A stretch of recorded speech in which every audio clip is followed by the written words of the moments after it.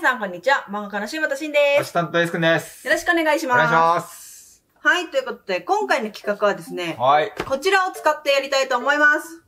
マジック。えー、マジックアートセット。まあ、この、見てみてもらったらわかるんだけども、はいなんかこういうね、スポンジみたいなのに、こういうカラフルなインクをつけて、伸ばして色を塗っていくようなものです。裏はこんな風になっております。はい水をつけて、えースポンジをインクにつけて、これで塗るみたいな、多分ことだと思います。えーなんかこんな変な動画入ってたね。そう。で、これで色塗り対決をしていくよ。はい。はい。中身はね、こんな感じでした。多分これがインクのリボンなんだと思う。で、このインクを付け替えて自分の好きな色の生火にすることができます。で、えっ、と、こっちに太いブラシ、ほ中ぐらいのブラシ、細いブラシが2セット。うんで、それぞれこれ自分のブラシとして使っていこはーい。う。で、今回はですね、はい、今画面に映ってるこちらの線画にですね、お互い色塗り対決をしていきたいと思います。はい。まあ、普通にやってももちろん私プロの方が有利ですので、うんエース君には今回特別ルールで、こちらですね、コピック。これをエース君は今回自由に使っていいことにしたいと思います。俺はじゃあ画材2つ使えることだね。そうなの。なので、エース君はこのレインボーで塗る、うん。このマジックアートセットと、このコピックを使って色塗り。わかりました。そして私はこのマジックアートセットのみで色塗り。はい。それで追いかけ対決やっていきますよ。わかりました。では、レッツ、チェケラはい。では、早速ね、やっていくんだけど、まずみんなもね、これが結局どんなものかよく理解してないと思うから、う一回、いん。いいよ。一回どんなものかね、説明したいと思います。はーい。まず、ここにちょっと水があるんだけども、はい。で、ここにね、水をつけます。はーい。で、ここに、えーと、じゃあ、こっち側にするかな。インクをつけます。うん。こんな感じでちょっと、あー、ついてった、ついてった。こうやってなぞる。結構それ謎なんとつかないな、多分。そうだね、結構。あ、でもみんなわかるかなこんな感じ。で、これを、いい？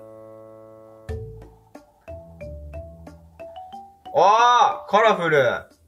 ちょっとインクが薄かったのかな、でも。いや、でもまあこんな感じ、こんな感じで、こうやってカラフル、カラフル。こうテクニックをこううまくこう駆使して、こう自分の好きな模様にね、こうやって塗っていくことができます。おー、いいね、いいね。すごい楽しい、綺麗でしょ、うん、綺麗、綺麗。じゃあこれでさらに細いのと太いのもあるから、一色だけ塗ることもできるし。なるほど。で、このカートリッジの並びを変えたら、自分の好きな色のバランスにできるからでもね。これ多分この状態でカートリッジ触ったらこれ手につくやつだよ。そうだね。だからそれも気をつけてやろう。じゃあ早速ね、これを駆使して、すごいカラフルな素敵なイラスト色塗り対決です。はーい。難しいよね。今回肌色とかがないから、黄色とオレンジを自分でほら混ぜて作ることもできるけど、なるほど。とりあえずじゃあ俺はやろう、やろやっていきますう。。もう俺はいいや、別に肌色コピック入れればいいんだもんな。あ、そうなんだよ。S 君はそうなの。ここにない色はコピックでできるから、ちょっとじゃあ私は黄色とオレンジ混ぜたらどうなるかってみようかな。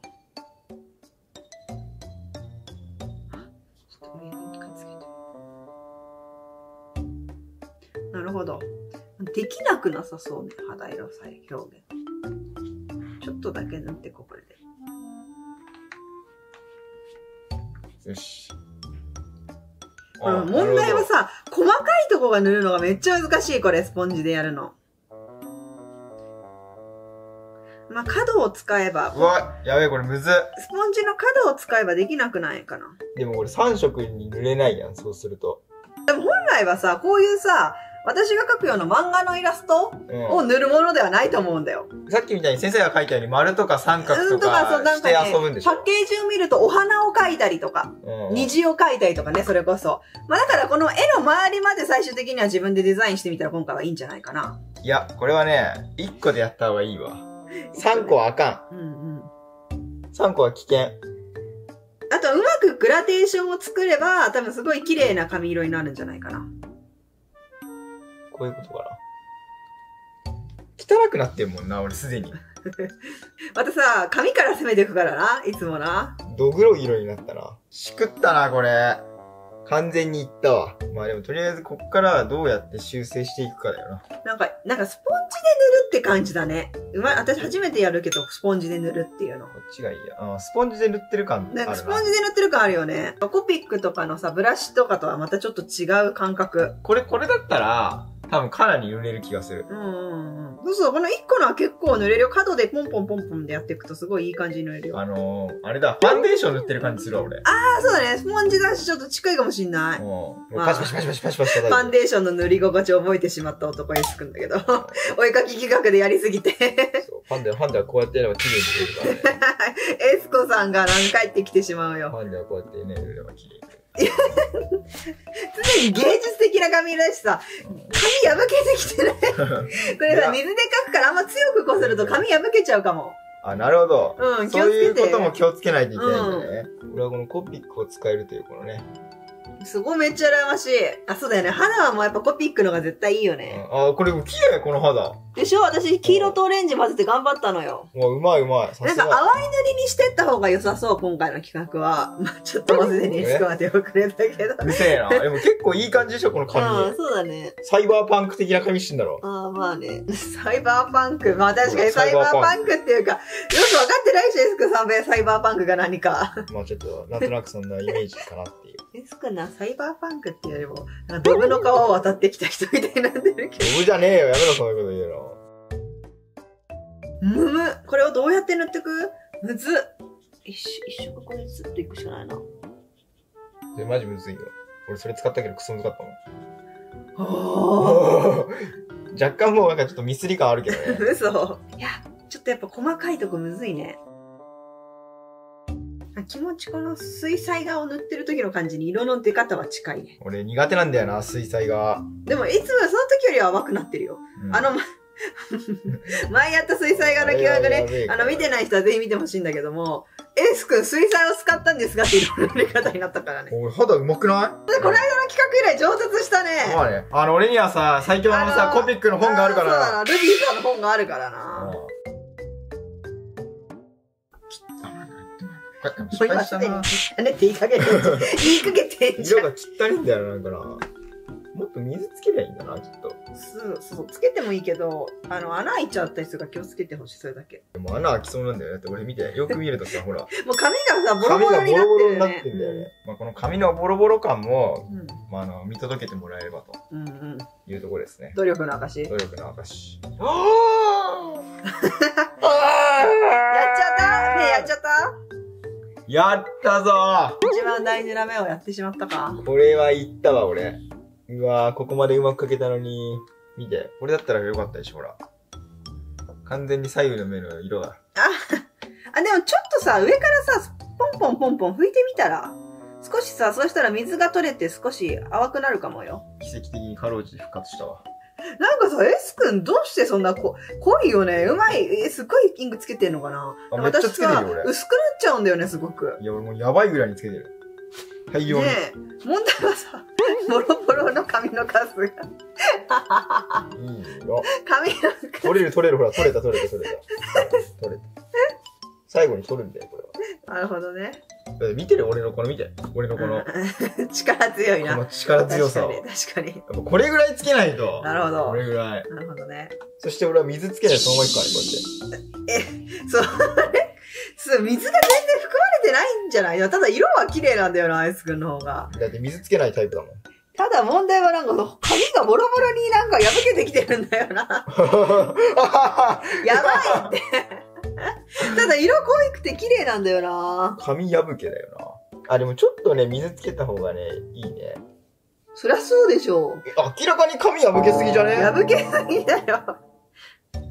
どうしてこうなった？絶対でもね、これ使ったらね、俺と同じ現象起こる人いると思うよ。マジで。うん今ここで笑ってみんな見てるけど。そう。やってみたらってみんな笑ってるけど、うん。やべって、実は使ったら、あべ私も俺もなったみたいな コメント待ってます。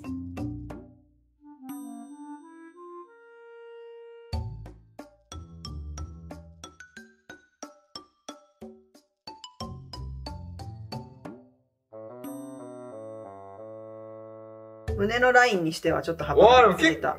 え、綺麗じゃね？なんで俺こんなドスキ塗り方でしょ、エス君。だ左右めちゃくちゃぐちゃぐちゃに塗ってない？これだってさ、塗る方向によって色の混じり方が違うじゃん。うんこれをこう塗るか、もううんこうやってぐちゃぐちゃぐちゃってやるかで、色がほら混じっちゃうと混じらないっていうのがあるじゃん。なるほどね。うん。何も考えてなかっ 考えてないだろうな。たわ。うん。